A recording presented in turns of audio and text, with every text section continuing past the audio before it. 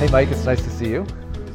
Um, I thought what I'd do, Mike, is start with a few, just a few questions. Talk a little bit about your own personal journey here at Monsanto. Well, I started at Monsanto 24 years ago, and I'm a chemist by training, so I came here and I did science. I worked in a lab, and uh, Monsanto was a much different company when I when I joined. We had a chemical business, and we had the ag business, we had a drug business, and so I started out uh, in technology and spent the first 15 um, years doing science and managing science uh, within Monsanto, and then had an opportunity uh, in around 2005 to uh, take on a commercial opportunity, uh, and uh, that's when I first moved into the commercial side of the business, and uh, and had some really neat experiences there. And I've always been able to leverage my science background as I've progressed through the commercial um, the, the, com- the, commercial side of the business, and so now I'm I lead our Americas uh, row crop business for Monsanto. So it's the U.S. Brazil, U.S. U.S. Brazil, Brazil, from Canada to Argentina. To Argentina, great.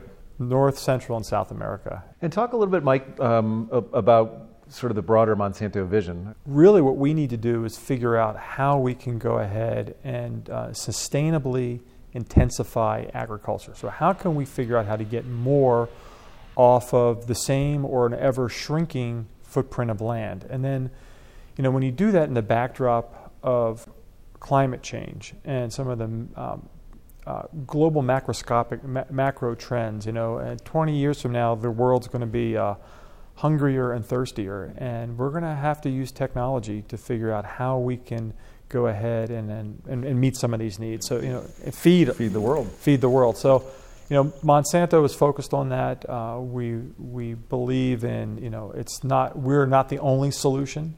We're going to be a part of the solution, uh, but we think we can be a significant part of that. I'd love to get, have you just talk a little bit about uh, how how you guys have defined and thought about transformational growth. In business, we're all looking for growth, but when I think about transformational growth, it's not simply just you know increasing and maybe a greater slope the top and the bottom line, but it's also shifting the way you're doing business. I mean, changing both internally with your people and as well as externally with your customers. We've had the opportunity as we've as we think about biotechnology and how that's fundamentally changed agriculture.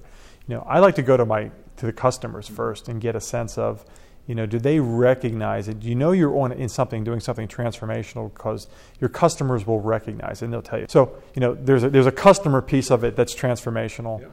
Um, and then the flip side of it is just is internally. You know, uh, you, you, know you're on a transformational growth curve when there's um, when there's a, I see when there's a little uneasiness within your people.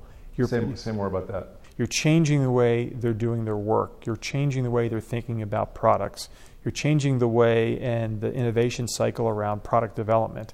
And so, unless there's a little bit of unease, and unless there's a little bit of uh, of uh, concern, I would say, within the organization, you're probably not on a transformational growth path. You might be growing, but you might not be really um, pushing the envelope. What would you say are some of the bigger internal barriers to, to growth a, on this transformational journey? Uh, speed. Speed.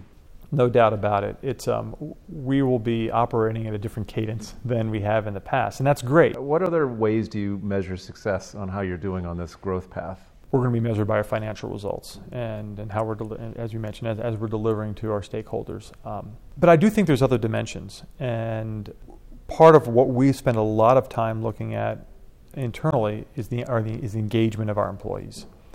And we measure engagement uh, relentlessly.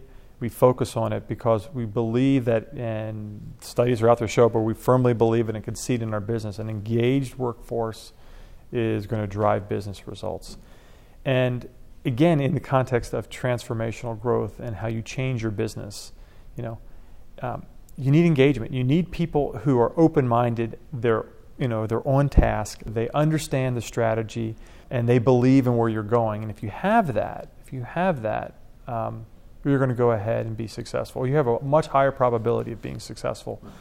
Um, than if your workforce is disengaged from where you're going. Are there moments that, that really strike you as being, we've got it? I always like to go to the customer because at the end of the day, we can talk about transformational growth, but it really means we're doing something transformational for them. So you know, when you go to when you go to our customers and talk to them about what biotechnology and agricultural biotechnology have done for them, it's not simply just improved their bottom line. It's changed their lives completely. It's changed the way they actually do agriculture, and, and in turn has fundamentally changed their business. Talk a little bit more about the next five years.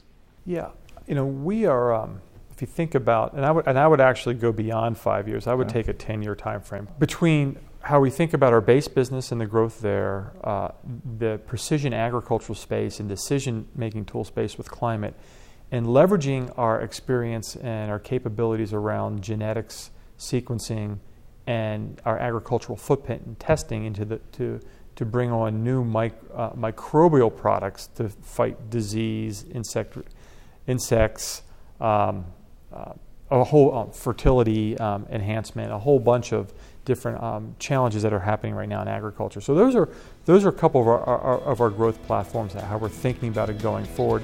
That's great. Well, thanks, Mike. Thanks for your time. Andy, great seeing you. Thank you.